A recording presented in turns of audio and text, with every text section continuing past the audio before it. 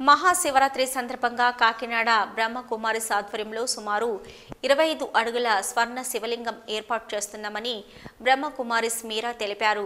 Sarpavaram junction వద్ద బ్రహ్మకుమారిస్ ఆశ్రమంలో బ్రహ్మకుమారి మీరా media సమావేశం నిర్వహించారు. ఈ సందర్భంగా ఆమె మాట్లాడుతూ కాకినాడ నగర పరిసర ప్రజలకు మహాశివరాత్రిని పురస్కరించుకొని స్వర్ణ శివలింగ దర్శించుకునే భాగ్యం భక్తులకు కల్పించాలనే ఉద్దేశంతో ప్రజాపిత బ్రహ్మకుమారి ఈశ్వర్య విశ్వవిద్యాలయం సహకారంతో ఈ కార్యక్రమం నిర్వహిస్తున్నామని భక్తులు నగర ప్రజలు అధిక సంఖ్యలో పాల్గొని దర్శనం చేసుకోవాలని కోరారు.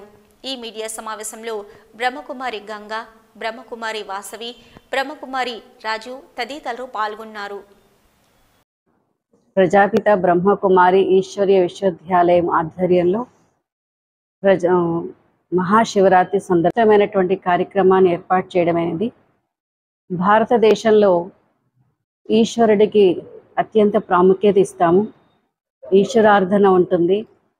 ఈ సృష్టికి మూలం సర్వేశ్వరుడు సర్వశక్తివంతుడు నిరాకారుడు జ్యోతి స్వరూపుడు అనేటువంటి శివ పరమాత్మ యొక్క గుర్తుగానే చిహ్నంగానే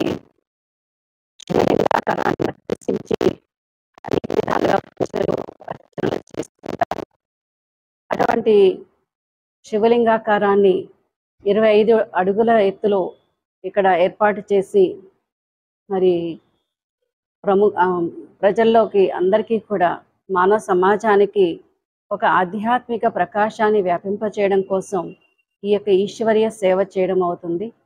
ఈశ్వరుడు అంటే నిరాకారుడు జ్యోతి స్వరూపుడు ప్రకాశ స్వరూపుడు ఈ సృష్టికి మూలము సర్వశక్తివంతుడు స్వయంభూ అజన్మ అభోక్త అశరీరి నిరాకార స్వరూపము.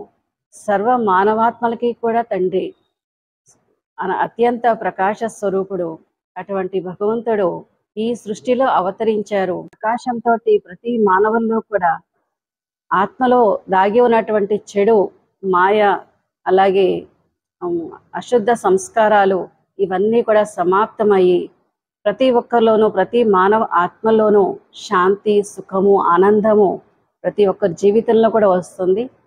అయితే మహాశివరాత్రి సందర్భంగా కాకినాడలో మా యొక్క సర్పవరం జంక్షన్లో శాంతిధామ్ ఎదురుగా స్పెన్సర్కి పక్కన ఉన్నటువంటి ప్రదేశంలో ఈ ఇరవై ఐదు అడుగుల శివలింగము ఏర్పాటు చేయడమైంది. అయితే ఈ శివలింగం యొక్క దర్శనంతో పాటు ఆధ్యాత్మిక చిత్ర ప్రదర్శన కూడా ఉంది. అందులో ఆత్మ దర్శనము పరమాత్మ దర్శనము సమయ దర్శనము రాజయోగము అలాగే రాజయోగం ద్వారా మన జీవితంలో వచ్చేటువంటి అనేక లాభాలు ఏవైతే ఉన్నాయో అవన్నీ కూడా వచ్చేటువంటి భక్తులకి తెలియజేయడం అవుతుంది. దీని ద్వారా ఆధ్యాత్మిక వెలుగు అనేది ప్రతి ఒక్కరిలో కూడా వస్తుంది. ఎవరి జీవితంలో ఆధ్యాత్మికత వెలుగుతుందో వాళ్ళ జీవితం సుఖమయంగా ఉంటుంది. కార్యక్రమాన్ని ఏర్పాటు చేస్తున్నాము.